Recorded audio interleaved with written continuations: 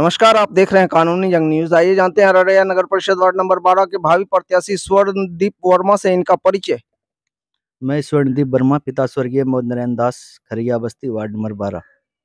महोदय की अगर जीत होती है तो वार्ड नंबर 12 के लिए क्या लाभकारी योजनाओं का विकास करेंगे अपने वार्ड के लिए? हमारी जीत होने के पश्चात ऐसा कभी नहीं होगा कि किसी के साथ मतभेद या भेद रहेगा। हम सबको साथ लेकर चलेंगे।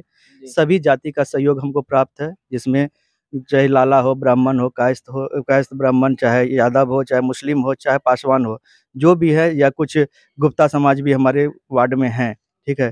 तो वो सारा का समर्थन हमसे प्राप्त है। मैं एक पहला कैंडिडेट होगा, हूँगा जिसमें हर कास्ट का वोट मिलेगा और हर कास्ट से मुझे सहयोग की उम्मीद है और जो मुझे निरंतर मिल रहा है मेरे कार्यक्रम के दौरान मैं जहाँ भी मिला हूँ, मुझे सपोर्ट मिला है। ऐसा कोई नहीं है कि कोई मुझे इग्नोर किए हैं, ऐसा अभी तक प्रतीत नहीं हुआ।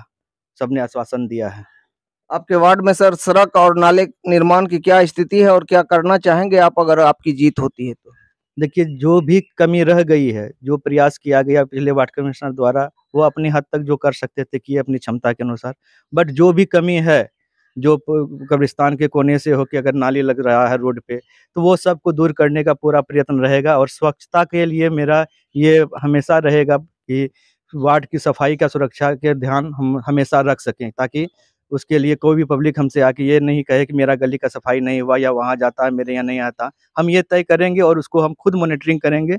हम खुद चल के देखेंगे पूरा बस्ती कि कहाँ क्या कचरा जमा है या नहीं है। ठीक है, उसके लिए जो भी होगा, वो हम करेंगे। वो उसमें कोई अथी नहीं है।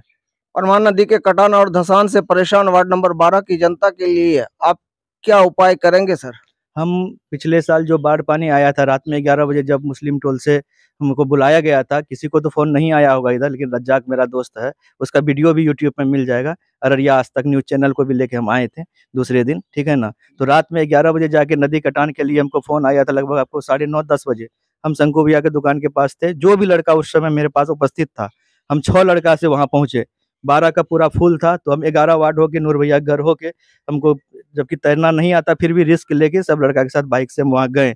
और वहाँ पे मिट्टी प्लास्टिक का बोरा में मिट्टी भर भर के हम लोग उस टाइम में तत्कालिक व्यवस्था गरीब फिर उससे फिर उससे उस टाइप से मेरा पचास के अंक तक जहाँ तक आंकड़ा पूरेगा हम उसको ही लेंगे ठीक है? तो इसमें कोई भी पक्षपात की बात नहीं रहेगी और जातिवाद का कोई बात नहीं होगा। आपके कार्यकाल में महोदय अगर आपकी जीत सुनिश्चित होती है तो स्कूल के क्षेत्र में जहाँ से बच्चों को शिक्षा प्राप्त होता है, उस क्षेत्र में आपका क्या विकास होगा? स्कूल वार्ड नंबर बारह में चूँकि एक ठो आवंटित है, जो काफ़ी समय से सुनने में आया है कि वहाँ भूमि भी दिए हुए हैं वार्ड के ही कुछ लोग, ठीक है? जो इसका निर्माण नहीं हो पाया है। हम चाहेंगे कि सबसे पहले हम जिला शिक्षा पदाधिकारी से मिल के, ठीक है, उस स्कूल का काम कहाँ तक हुआ है या कहाँ रुका हुआ है, इसके लिए हम अभी तक कोई जानकारी नहीं लिए हैं, ठीक है? झूठ नहीं बोलना है। ठीक है अगर हम इस क्षेत्र में आते हैं अथवा नहीं भी आते हैं जीतते हैं या नहीं भी जीतते हैं तो भी मेरा ये ध्यान अब हमेशा रहेगा कि हमें जितना भी जनता का समर्थन प्राप्त है हम उसके लिए हमेशा जितना बेहतर से हो सके बेहतर कर सकें ठीक है? और स्कूल के लिए हम ज़रूर प्रयासत रहेंगे जो कि वार्ड में जब ज़मीन दे दिया गया है तो उसका निर्माण जल्द से जल्द हो जाए। आपके वार्ड में महोदय कोई सामुदायिक विकास भवन है क्या? सामुदायिक विकास भवन तो नहीं है एक शिक्षक संघ भवन है जो फ़िलहाल बूथ बनाया गया है उसको ठीक है? और हमारे बस्ती में एक सार्वजनिक रूप से कृष्ण मंदिर है राधा कृष्ण मंदिर, ठीक है? उसमें मेरे बड़े भैया लोग बहुत ही कार्य प्रयासरत हैं कि जल्द से जल्द उसका निर्माण करवाएँ वो लोग, ठीक है? उसमें पूरा समाज की भूमिका है, लेकिन कुछ भैया लोग हैं जो कि ज़्यादा सक्रिय हैं तो उन लोगों का साथ हम भी देंगे, ठीक है? और सबको अभी तक भी समर्थन मिला है, कुछ कमी बेसी हो जाती है, ठीक है? लेकिन टाइम हम पूरा से पूरा जब हम जीत के आएँगे तो समाज के लिए मेरा पूरा से पूरा समय रहेगा और हर क्षेत्र में हम इसका काम करेंगे। अंततः दशहरा पर्व को लेके आप अपने वार्ड नंबर 12 की जनता को क्या शुभकामना संदेश देना चाहेंगे महोदय? विजयादशमी की बहुत बहुत शुभकामनाएँ सभी वार्डवासियों को और सभी नगरवासियों को। हम इसके लिए प्रयासरत हैं कि आप लोग हमें अपना आशीर्वाद दें। और मेरी शुभकामना आप लोगों के साथ है। आप लोग सुखी, संपन्न और खुशहालपूर्ण विजयादशमी मनाएँ। देवी पूजा की नौ दिन का यह मंगलमय यात्रा एकदम सुखीपूर्ण गुजरे और सभी अच्छे से विजयादशमी पर्व का मनाएँ और उत्सव का आनंद लें। धन्यवाद। धन्यवाद। अभी आपने सुना वार्ड नंबर बारह के भावी प्रत्याशी स्वर्णदीप वर्मा को, जिन्होंने अपनी राय से मेरे कानूनी जंग न्यूज़ चैनल को अवगत कराया। देखते रहे कानूनी जंग न्यूज़। रही है और क्या विकास करने की चाहत रखते हैं आगामी चुनाव जीतने के बाद? देखिए, वृद्धा पेंशन, विधवा पेंशन, ये सारा का जितना भी छूटा हुआ है और जो उसके लिए उपयुक्त है, वो दिशा निर्देश के अनुसार जिसका भी बनना तय है, वो बनाएँगे। हर कीमत पर, उसके लिए जहाँ जाना होगा, जो प्रक्रिया है, उससे गुजरना होगा और वो बहुत बड़ा काम नहीं है विधवा पेंशन बनाना। बिना वार्ड कमिश्नर रहते हुए भी हम बहुत का आवास का जो फ़ोटो नहीं हो पा रहा था नगर परिषद से, हम कैमरामैन को बुला के कम से कम आठ से दस घर का हम फ़ोटो करवाए हैं, जो पिछले डेढ़ साल का मेरा कार्य है। जब से हम इस अभियान में लगे हैं, दो ढाई साल से तो हम ये काम जितना हमसे हो सकता है, बिना वार्ड कमिश्नर रहते भी वो किए हैं। चाहे छठ पूजा के घाट पे जेसीबी से साफ़ सफ़ाई का काम हो। हम खुद रितेश भैया से बात किए थे चेयरमैन साहब से तो बोले थे कि इसमें वार्ड कमिश्नर का सिग्नेचर लगेगा तो हम बोले थे, वार्ड कमिश्नर क्या, वो तो सबका है वार्ड का सिर्फ़ काम नहीं है, नदी किनार में छठ होता है, हर वार्ड के लोग हैं। तो बोलिए, बबलू भैया सबसे फ़ोन कराते हैं, सबसे बात करके हम जेसीबी का भी करवाए थे और साफ़ सफ़ाई करवाए थे। मेरा अभियान बहुत दिन से लगा हुए हैं, लगे हुए हैं हम इस काम के लिए और जाके हमको जनता से अच्छा खासा मदद मिल रहा है और आशीर्वाद भी मिल रहा है।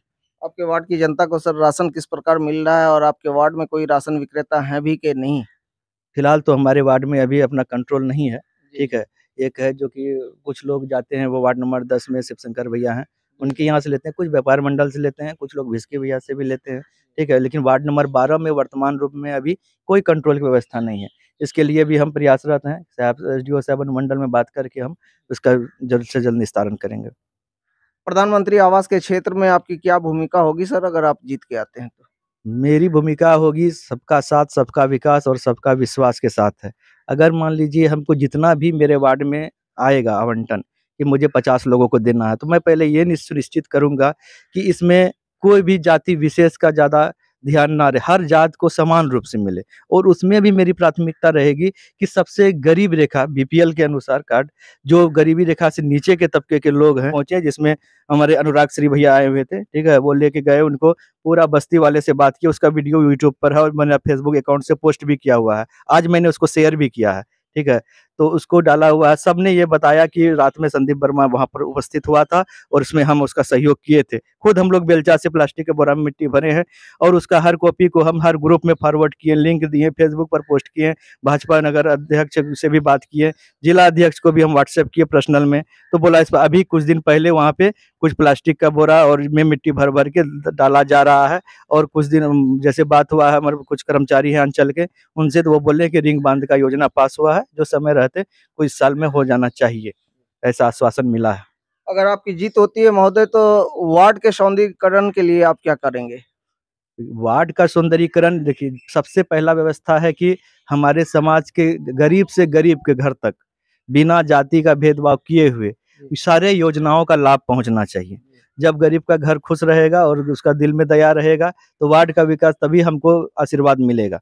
हम उनके लिए ही हैं, जो हमारे लिए, जो गरीब से गरीब जनता है, हम हर तब नीचे से नीचे तबका के लोगों का सहयोग प्राप्त अभी भी है मुझे, और हम उसके साथ भी रहेंगे हमेशा। हम दो वर्षों से लगातार सबके यहाँ भ्रमण कर रहे हैं। जहाँ वोट नहीं एड हुआ है वोटर लिस्ट में उनको ऐड कर रहे हैं। निस्वार्थ, वो वोट किसी को दे। मेरा जो धर्म है, एक राजनीतिक रूप से कि वोटर लिस्ट में नाम ऐड करना सबसे पहला तो हम उसका काम किए हैं। आज जो भी कैंडिडेट आए हैं, वो तो ना तो पहले से प्रयासरत थे। ना कुछ उसको भी मतलब जो भी हो सहयोग, उसको भी कुछ लोगों का सहयोग है, लेकिन हम इस काम के लिए प्रयासरत थे और निरंतर समाज में एक डेढ़ साल से हर एक शख्स से ये बात बताते चले जा रहे थे कि मैं इस बार चुनाव लड़ूँगा बजाते छठ पूजा, मैंने बैनर भी लगा दिया था कि अगले इलेक्शन के लिए मैं भावी प्रत्याशी हूँ, ठीक है? उसमें बहुत लोगों का मेरे साथ सहयोग है, जो इसीलिए तो सारे लोग बोल भी रहे हैं कि तुम चूँकि पहले घोषणा करके सबसे पूछ के नॉमिनेशन दिए हो तो इसलिए हम लोग तुम्हारे साथ हैं, इसमें किसी भी तरह का दिक्कत नहीं है। जिस गरीब जनता का सहयोग है सर आपके साथ उनके